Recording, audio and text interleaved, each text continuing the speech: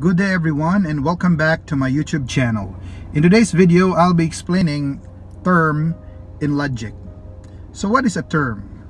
A term is basically an expression of an idea. When you say expression, it is when an idea, which is by nature abstract, metaphysical, universal, and mental, is expressed in concrete.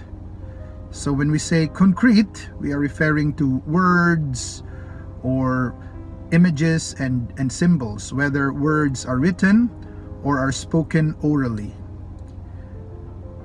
In our previous episode, we have explained what an idea is. We said that an idea is the essence of an individual thing or person known by the human intellect or reason.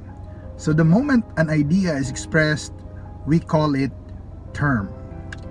And term by nature has properties. When you say a property of a term, it is something that necessarily belongs to a term, meaning it naturally flows from a term or is essentially part of the term. And these are comprehension and extension. Again, these are the properties of a term, comprehension and extension. So what is comprehension?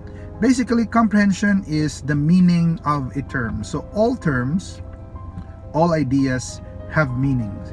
In other words, the meaning is the whatness or the essence that they represent. So what an essence is, is the whatness of a thing.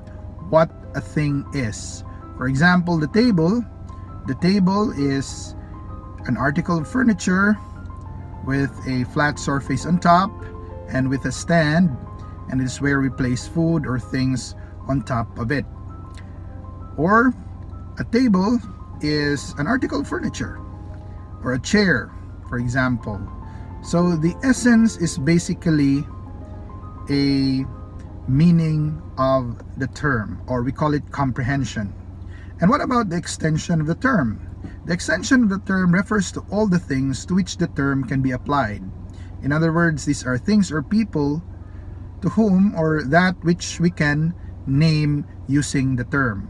Example, if you have the term dog, so all types of dog which you can name dog or things that you can call dog are the extension of the term. So what are the extension of the term dog?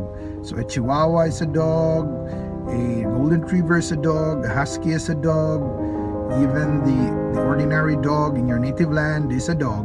So all the things and individuals to which a term can be applied is called the extension of the term. And what is the relationship between extension and comprehension. They are inversely proportional, meaning the greater the comprehension, the lesser the extension, and vice versa. In other words, if the term becomes more generic, the less specific it becomes. Or the more specific the term is, the less general it becomes. So that's basically the relationship between the two properties of the term, comprehension and extension. Thank you for watching and listening. Please click like, share, and subscribe to my YouTube channel.